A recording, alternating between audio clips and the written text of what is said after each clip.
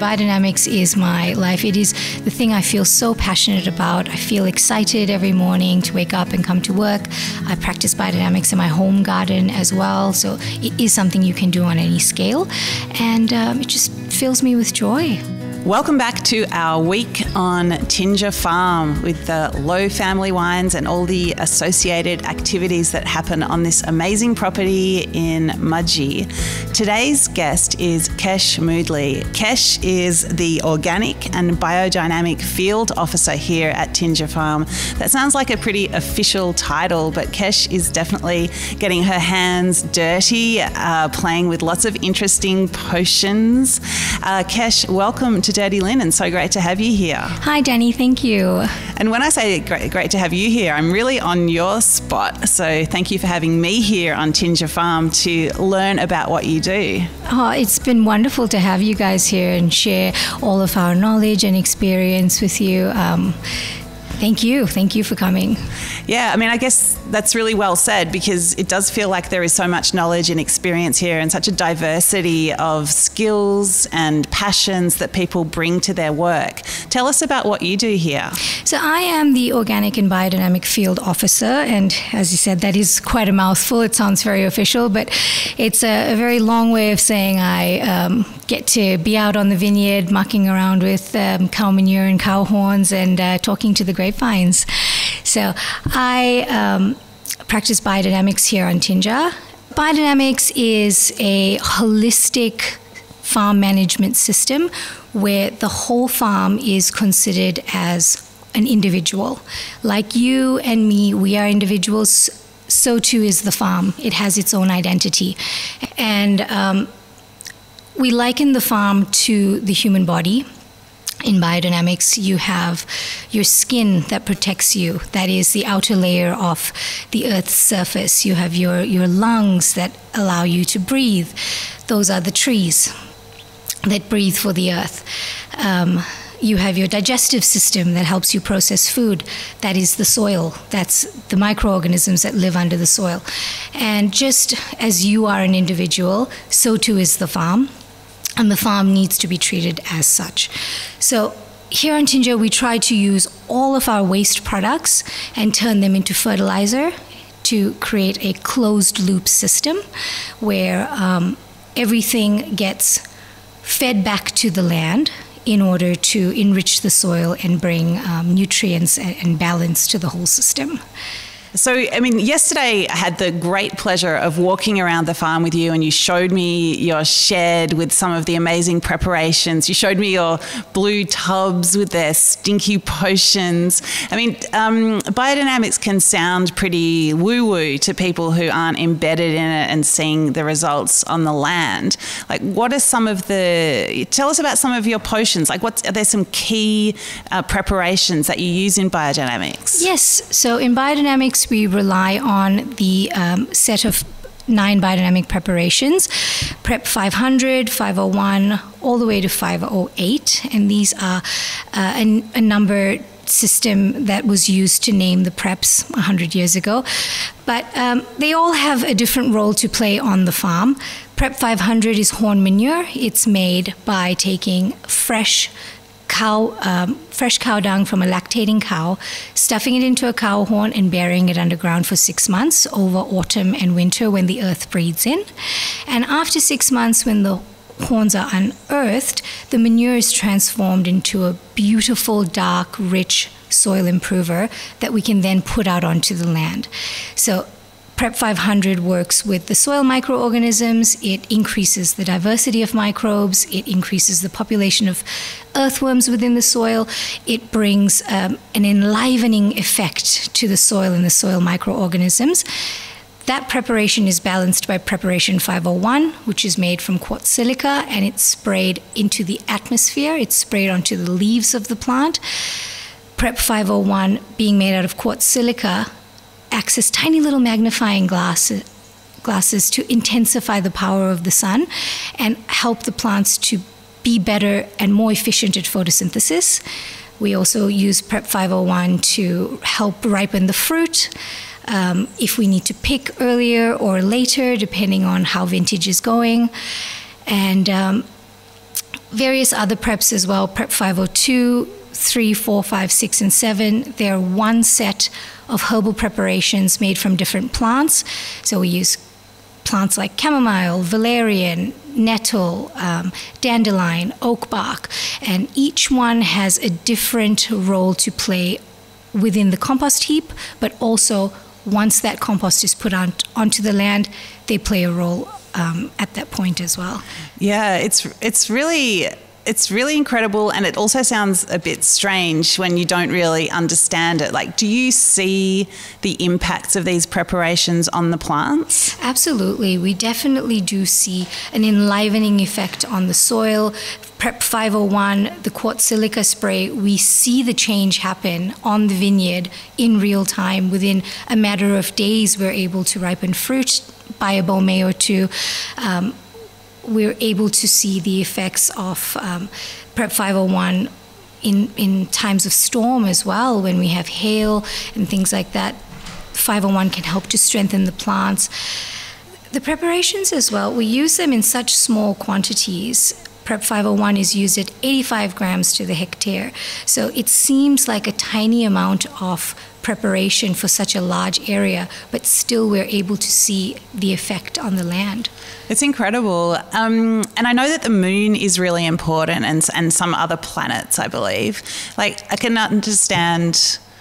I, I, feel like I can almost grasp that because you can see the effect the moon has on tides, for example. But how does the moon affect plants? So, the moon, as you said, um, we can see the effect as it moves the tides in and out. So the moon has an effect on bodies of water, correct? You are also a body of water, and so too is a plant. So you're about 80% water. A plant can be up to 90% water. Um, and so the moon is moving that body of water on a tiny cellular level. Plant sap, it's moving up and down the plant. And um, yeah, the moon matters. The moon matters. There are cosmic forces all around us that working with plants. Um, Rudolf Steiner, who is known as the father of biodynamics, he believed that by harnessing cosmic forces, we are able to enhance plant growth and help the plants to be stronger and healthier by themselves.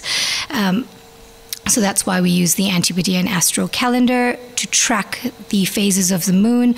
We track the cycles of the moon, not just from new moon to full moon, but we track as the moon ascends in the sky and then descends. That's a rhythm that follows itself in two week periods. The ascending moon is when growth forces are focused above ground, all parts of the plant above the ground. And so we will put out seeds, we'll put out foliar sprays. Um, in the descending moon cycle, the growth forces are focused below the ground. So we will apply compost, we'll plant out seedlings, we will make propagations and, and do pruning, um, put out soil sprays in that time. So working with the rhythms of the moon and other cosmic bodies like Saturn allows us to enhance plant growth and make our plants stronger and healthier. It, it, I mean, it sounds I mean, there's obviously um, a lot of science and chemistry and uh, uh, to what you're talking about, but it also sounds like it's pretty emotional, especially when you think about the land as uh, as a person, as a, as this um, you know creature that exists and that you have a relationship with.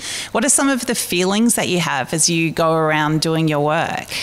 It it is really, really interesting. At first, when you come to this work, it might seem a bit out there, um, and it seems hard to get into this idea of communicating with the land and communicating with the plants. But the more you do it, the more a connection develops, and the more you can feel when the land is ready for the preparation, when the plants are excited to receive the, the preparations. And in the same breath, you can also feel when it's a bad day to put a spray out. I have I've been put in my place before. I've had everything planned and ready to go, and then I get here and um, nothing's working. You know, um, the flow form doesn't want to start, or um, there's a technical issue or something, and it, and it always ends up being that it was not the right day to spray. Big storms come through after, or um, you know, it's just not been the right day, the right conditions. That's so interesting. And what about the impact it has on your feelings? Like, you know, have, do you have, you know, you're having a bad day and does the land speak to you? Absolutely. Um, recently, I was not well and I had a biodynamic spray day planned. Um, so, soldiered on, came to work, and I put the flow form on, put the prep in, and actually communicated my um, emotional state to the preparations. I said, Look, I'm coming to you today with all that I have. I'm not feeling well. My energy is low, but I'm giving you everything I have, and let's do this. Let's go out there and get this done. And put loaded up the prep into the tractor, went off into the vineyard, and within two minutes, I was ecstatic. I was happy. I was joyous. It brought me to tears that day because my mood changed so much. And that was because of the plants. That was the vineyard helping me. That's very profound. I guess, you know, a lot of people could relate to uh, the, the, connection with nature and, and you know that sort of exchange of feelings you know you go into a forest and you feel peace or you feel inspiration or you have space to have thoughts that maybe you weren't expecting i mean you're engaging with this every day. Like, do you think there is a way that, you know, I or someone else who lives in a city who's not growing the way that you are, like, can we connect in the same way? Is there a path for us? Absolutely. Dani, I didn't start off on the land. I started with one house plant, one little house plant, and it grew from there. Um, and I found that having green and living plants all around me really helped. Um, helped to calm me. It helped me to feel um, a sense of peace in a concrete jungle. Um, at the time, I was living in Taiwan when I discovered my love for houseplants, and that traveled with me to Australia. And um, yeah, so for anybody living in a city, try to plant a tiny little balcony garden if you can. Get some houseplants. Try and go out into nature in the weekend, um, over the weekend.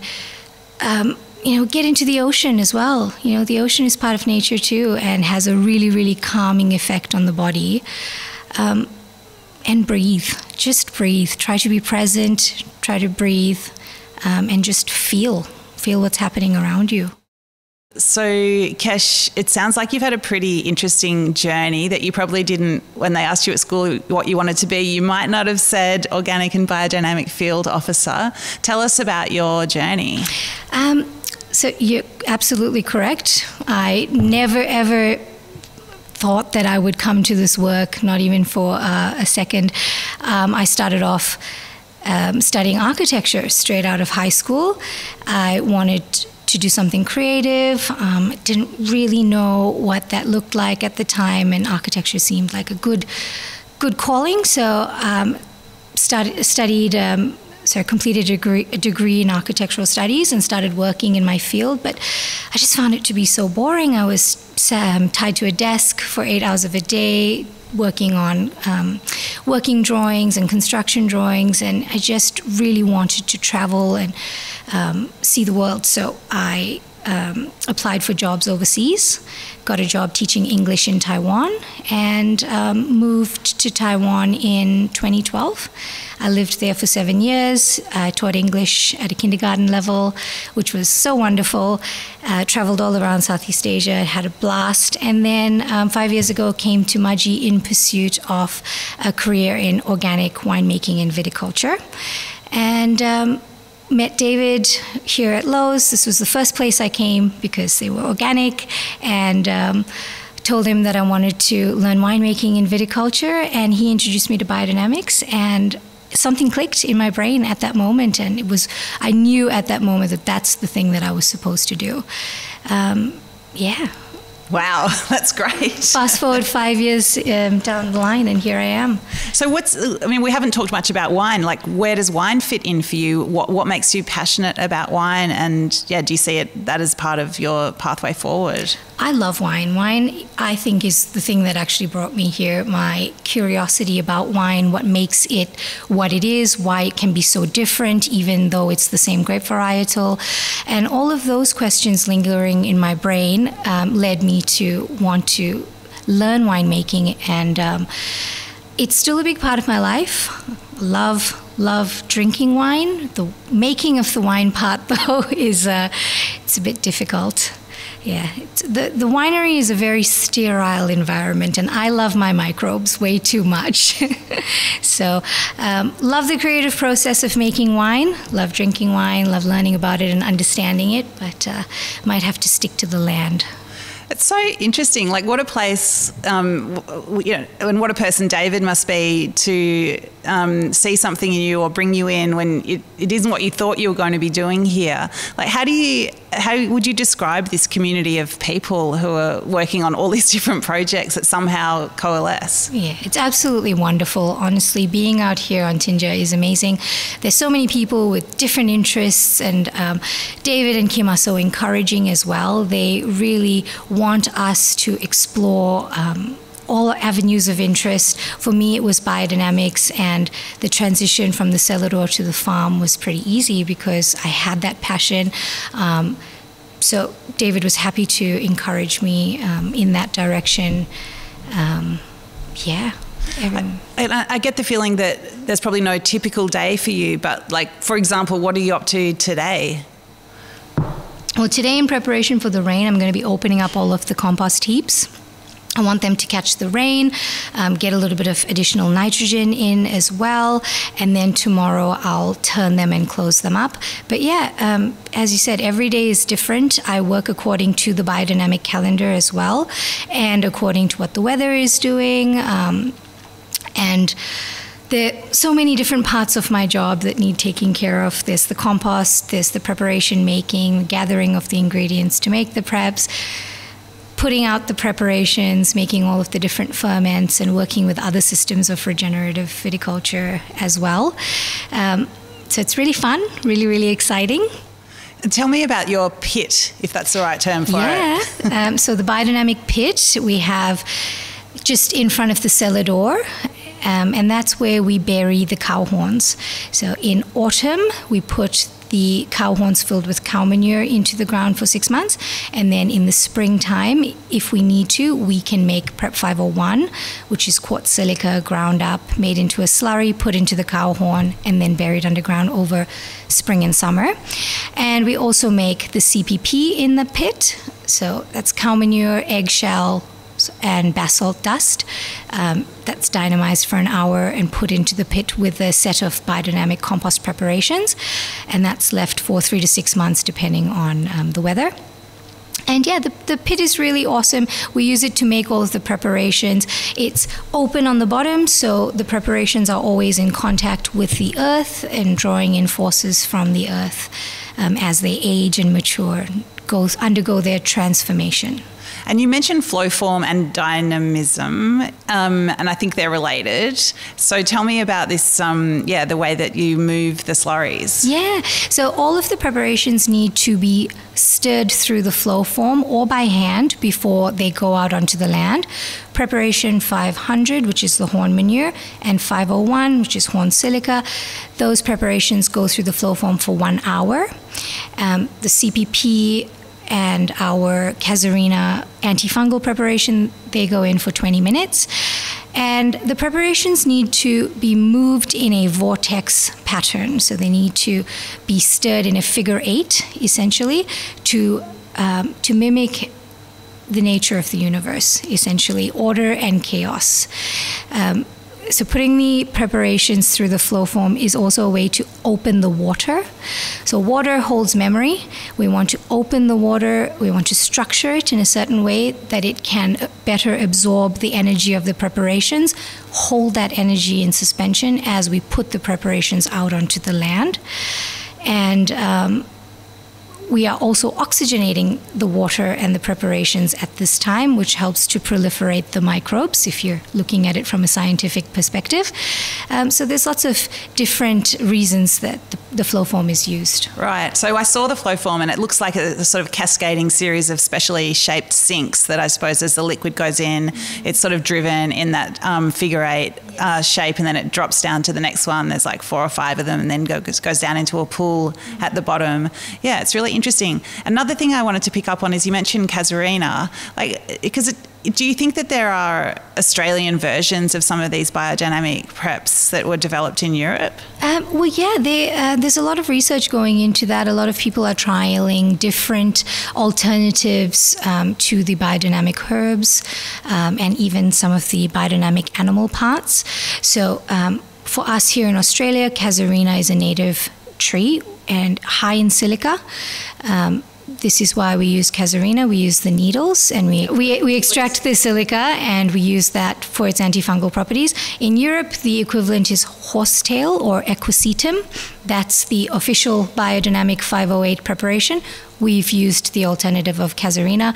I know. Um, in parts of um, Asia, they use water buffalo horns and hooves as opposed to cow horns and hooves. And especially here in Australia, it's getting harder to get cow horns because um, cows are dehorned um, early on in their lives.